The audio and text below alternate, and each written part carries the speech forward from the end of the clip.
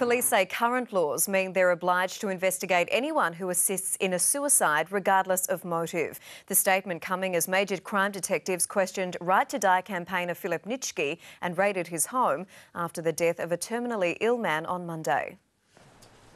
Carrying a computer, documents and other evidence, detectives emerge from Philip Nitschke's Gilberton cottage. The two-hour police raid carried out in front of the doctor. Can you have a chat to us about what's just been going on in there?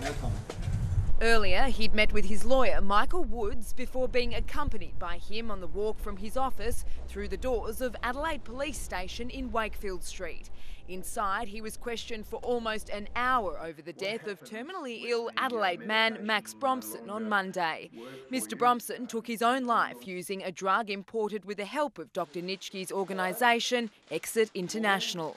Dr Nitschke walked from the police interview without having been charged, but clearly concerned. I'm taking advice, uh, and my advice is to make no comment, and I'm going to stick to my advice. Police will now investigate the items seized from Dr Nitschke and almost certainly work with prosecutors to determine whether he should be charged with assisting Mr Bromson's death.